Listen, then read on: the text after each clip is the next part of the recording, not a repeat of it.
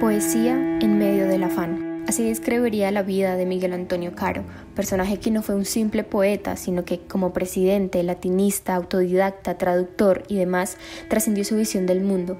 Lo hizo famoso sus grandes talentos que nunca cayó y a pesar de sufrir las consecuencias de sus creencias se mantuvo firme, y hasta su último día se las ingeniaba para pronunciarse en contra del sistema, proponer nuevos puntos de vista y cambiar su entorno.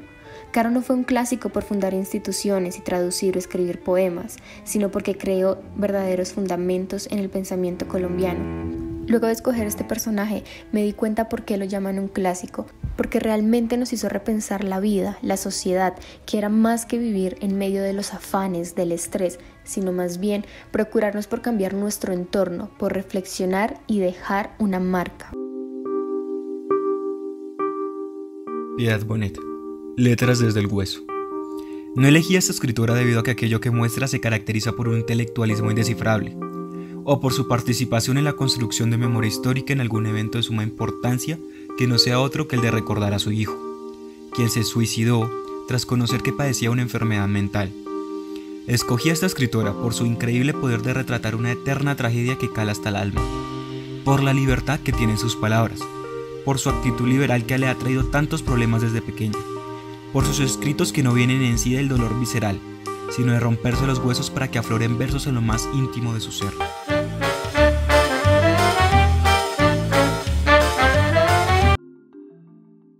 Tras escribir en el papel la palabra coyote, hay que vigilar que ese vocablo carnicero no se apodere de la página, que no logre esconderse detrás de la palabra jacaranda, a esperar que pase la palabra liebre y destrozarla.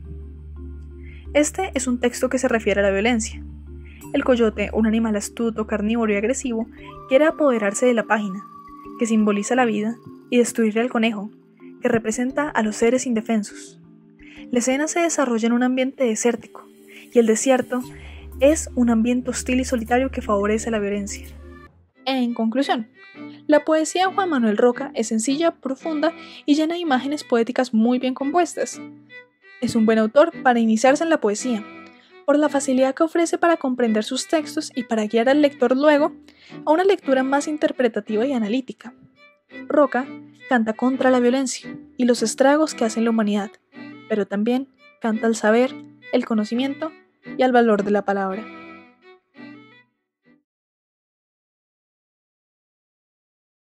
Dora es una poeta, periodista y académica colombiana. Nació en Bogotá en 1924 un año donde muchos líderes liberales murieron en consecuencia de la guerra contra los conservadores. Dora Castellanos empezó en el mundo de la poesía desde muy pequeña.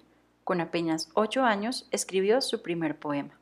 Ahora con 92 años ha escrito más de mil poemas y publicado 30 libros. En definitiva, Dora Castellanos es una poeta que merece ser reconocida, no solo por su manera especial de retratar los sentimientos por medio de versos, sino también por reflejar el talento que la mujer puede ofrecer en la poesía colombiana.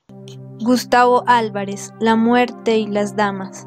Pienso que el autor hace bien diciendo las verdades que los medios no se han atrevido a decir claramente.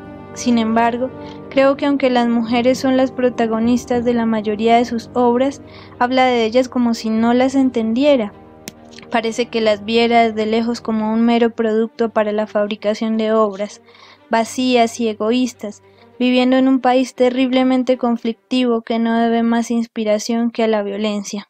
Las pocas veces que se sale del papel del sufrimiento, las mujeres son tramposas y se enorgullecen de sus malos actos.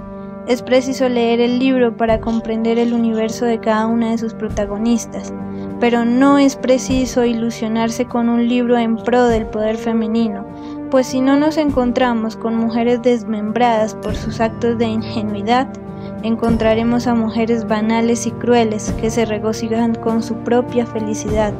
Aunque sean mujeres de la vida, Gardia Zaval quiere mostrar mujeres de la muerte.